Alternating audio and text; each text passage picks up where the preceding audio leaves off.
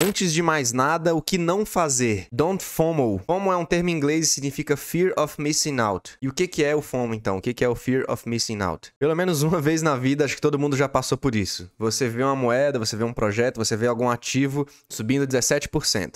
No dia seguinte, ele sobe 22%. No outro dia, ele sobe 58%. Aí você fala: Meu Deus, não é possível, essa nave vai direto pra lua. E aí você decide embarcar na nave e parece que cinco minutos depois, aquele candle vermelho da justiça te aniquila sem a menor piedade. Isso se aplica a todo o universo de investimentos, né? Um trilhão de oportunidades vão se apresentar para vocês todo santo dia. E eu posso deixar aqui a minha filosofia quanto a isso. Eu gosto de deixar passar nove oportunidades, nota 5, 6, 7, para tentar dar um tiro certeiro em alguma oportunidade que eu ache que seja nota 10. Além disso, tudo aquilo que sobe que nem um foguete, eventualmente vai ter alguma queda, vai ter uma correção e vai te apresentar uma nova oportunidade de compra. Então, talvez não seja o momento ideal, talvez você perca o primeiro momento e talvez ele seja sim o melhor momento para comprar, mas futuramente o negócio pode subir, dar alguma quedinha e você não compra no que foi o melhor momento, mas você compra no momento que é bem mais seguro. Outra dica é o contrário do FOMO, né? Que é você sair tacando seu dinheiro em tudo quanto é lugar. Às vezes você vê muita gente ganhando dinheiro fácil,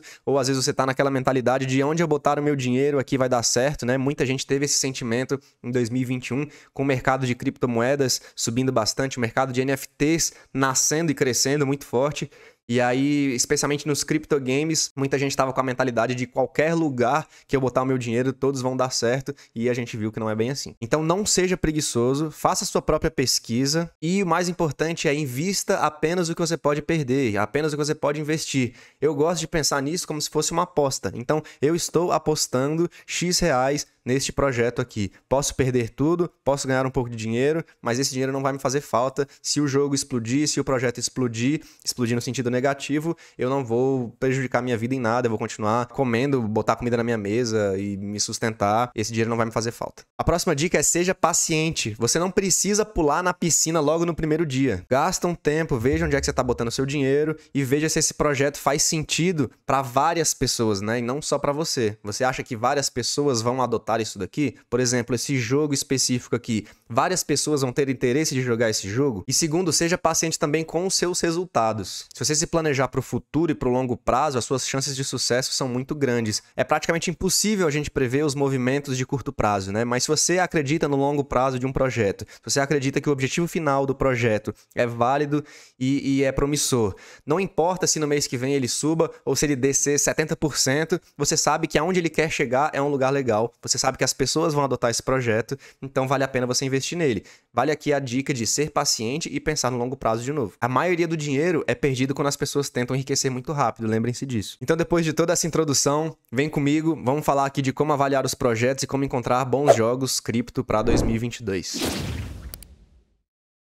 você descobre o projeto ou o jogo? Você pode ter visto ele num canal de YouTube, por exemplo. A primeira coisa aqui é que vale a pena você saber se minimamente aquela pessoa por trás da câmera tem alguma credibilidade para falar o que ela tá falando. Pode acontecer dele ter sido pago para falar aquilo e ele nem sabe o que ele tá falando no fim das contas. Aqui vale uma dica que eu sempre dou aqui no canal e vou repetir aqui mais uma vez. Bebam de várias fontes, pesquisem de várias fontes, inclusive a minha. Não acatem tudo que eu digo aqui como regra. Eu posso estar enviesado, eu posso estar equivocado, então procurem várias fontes, procurem várias pessoas falando do mesmo tema e procurem pontos negativos sobre aquilo também. Então, não procurem só vídeos de, meu Deus do céu, Axie Infinity é o melhor jogo do planeta, mas procure por que Axie Infinity é ruim ou Axie Infinity não vale a pena, alguma coisa assim, e tenta moldar as suas opiniões com relação aos dois lados da, do debate. Não sigam fielmente o que eu ou qualquer outro YouTube fala aqui nessa plataforma sem fazer a sua própria pesquisa. Outra possibilidade é procurar na internet por notícias ou a cobertura de alguma mídia relevante sobre o assunto. Pode ser um site, pode ser algum influencer com credibilidade nesse meio. E aí, finalmente, a primeira coisa que você deve fazer quando você encontrar um desses projetos que você acha relevante é acessar o site dele. Aqui vale a pena você avaliar a qualidade do site em geral. Procura por algum botão que não funciona, algum erro ortográfico, alguma página que não abre, alguma informação desatualizada ou insuficiente, conteúdos reutilizados, conteúdos reciclados. Isso tudo depõe muito contra o próprio projeto, né? Eu posso dar o exemplo aqui do Drake Ball,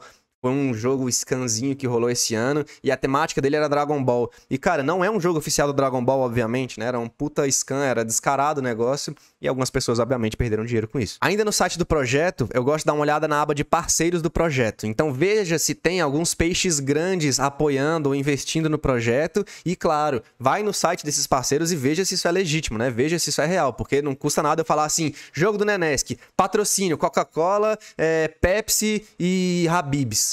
E, cara, enfim, parceiros grandes sempre me dão confiança num projeto, porque, poxa, se esses peixes grandes estão botando o dinheiro deles aqui, por que, que eu, mero mortal, não posso botar o meu dinheirinho aqui também, não é? Agora pode ser uma boa hora para você também procurar a idade desses sites. Então, há quanto tempo existe esse site? Porque, pô, se os caras fizeram esse site semana passada prometendo mundos e fundos, Bom, é uma bandeira vermelha aí para eu levantar. Uma dica super maneira é acessar esse site aqui, lookup.ican, com dois n's.org, né? Tá aqui lookup é, esse link aqui, eu vou deixar eles para você na descrição. E você coloca aqui o domínio do site, né, o URL do site, para ver há quanto tempo ele existe, por exemplo. Então, eu vou usar, por exemplo, o site do axinfinity.com. Eu sei que esse registro foi criado em 2018, né, janeiro de 2018 ou mais de 2018, não sei, depende da ordem que ele está levando a, a, a, data aqui. Mas, enfim, é um site de 2018, não foi criado agora, né? E se for criado recentemente, eu suspeitaria disso. Praticamente todo o NFT Game também tem um canal no Discord um grupo no Telegram e vale muito a pena você entrar neles. Por mais que você não queira ficar fazendo parte e trocando ideias lá, vale a pena você dar uma olhada nos canais que tem lá, se eles já estão criados há algum tempo, se as pessoas que estão lá discutindo sobre o projeto já estão lá há algum tempo ou se acabaram de chegar. Aproveita para dar uma olhada se é uma comunidade engajada. Passa dois dias ali lendo o chat, vendo se as pessoas trocam uma ideia, ou veja se as pessoas estão só reclamando, ou veja se o hype tá legal, às vezes tá exagerado demais.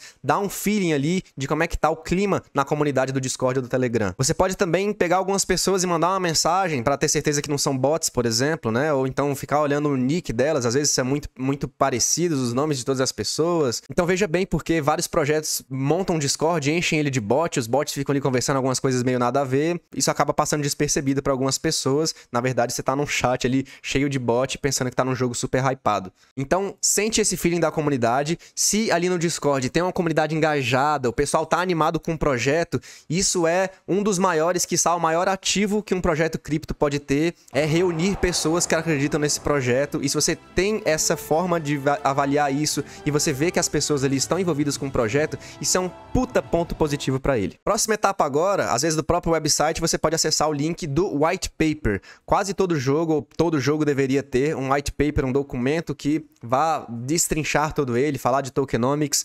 E aqui você pode procurar também por erros ortográficos, páginas incompletas, informações informações incompletas, descrições que às vezes não dizem nada, né? Um texto falando assim, como que o jogo vai funcionar, o jogo vai ser legal.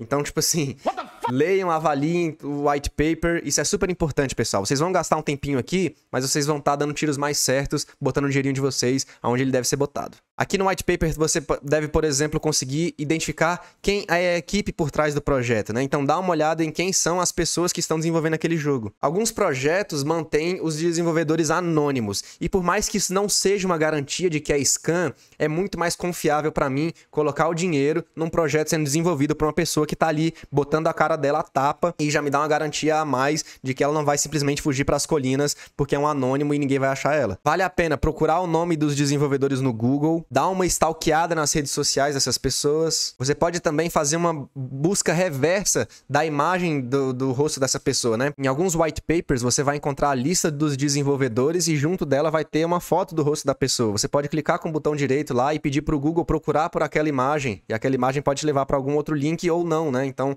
você, você vê se aquela imagem é real ou se alguma, alguma face gerada por um bot, por exemplo. Isso acontece bastante, beleza, pessoal? Então veja sobre os desenvolvedores. Se eles fizeram alguma coisa relevante no passado, se eles trabalharam em algum jogo maneiro no passado, se eles estão ali interagindo com a comunidade, se eles estão realmente engajados com o projeto. E aí no white paper você também deve dar uma olhada nos tokenomics do projeto, né? Ele vai explicar quais são os tokens envolvidos ou, ou os tokens envolvidos e te explicar mais ou menos como é que eles vão funcionar. E aqui é super importante você refletir se existe uma mecânica econômica inteligente por trás desse token, né? Se faz essa economia que eles estão propondo aqui faz algum sentido? Eu não gosto também de projetos em que os donos, os desenvolvedores têm um percentual super alto dos tokens. Ou então projetos que distribuem tokens de uma forma super acelerada. Tipo assim, nos próximos três meses a gente já vai liberar 60% dos tokens Tá, mas e aí nos próximos anos, sabe? Como é que esse jogo vai se manter se aqui no primeiro ano eles já estão entregando metade dos tokens que vão existir? A intenção na economia de um jogo geralmente é criar um mercado que vai fluir de player para player e essa comunidade como um todo vai se enriquecendo e desenvolvendo com o jogo, enquanto os desenvolvedores vão pegando pequenas taxas dessa transação. É como se eles cobrassem um imposto por todo mundo usar o jogo, todo mundo vai jogando, todo mundo vai se divertindo, todo mundo vai enriquecendo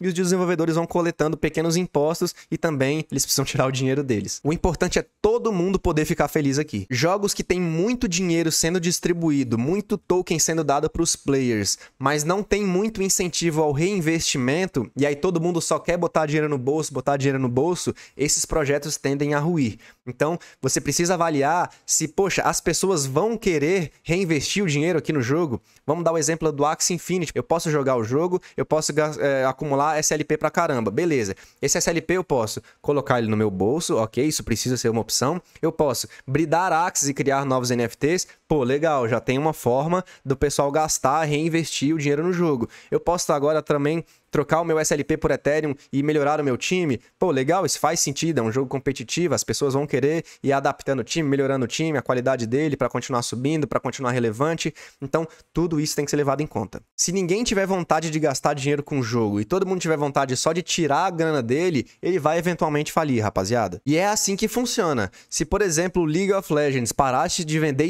skins de hoje para amanhã, ninguém mais compra nenhuma skin. Cara, o jogo vai quebrar. Se, se não tem nenhuma forma do pessoal gastar um dinheiro com o jogo, por mais que ele seja free to play, se ninguém mais gastar dinheiro com o jogo, por que, que a Riot vai manter o League of Legends lá pro pessoal? Então você precisa pensar aqui, é muito importante você pensar como é que o player vai gerar valor pro ecossistema. Então voltando, por exemplo, do Axie, eu jogo o Axie, eu farmo meu SLP, eu uso meu SLP para fazer novos Axies e assim eu vou desenvolvendo o ecossistema do Axie.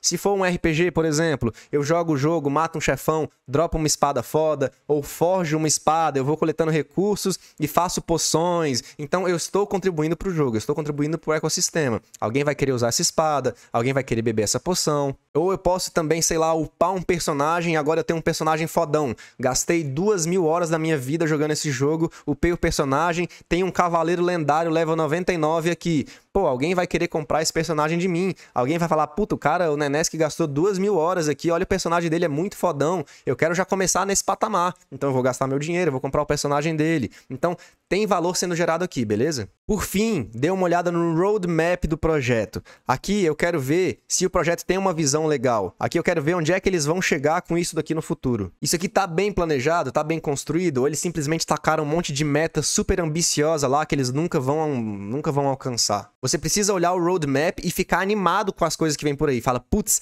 no próximo semestre eles vão lançar lands, nos próximos semestres eles vão lançar staking de alguma coisa. Então, coisas que façam sentido, que vão animar os players. Uma última dica legal aqui é que existem na internet diversas entrevistas ou lives com amas, né, que são um bate-bola com os desenvolvedores do jogo.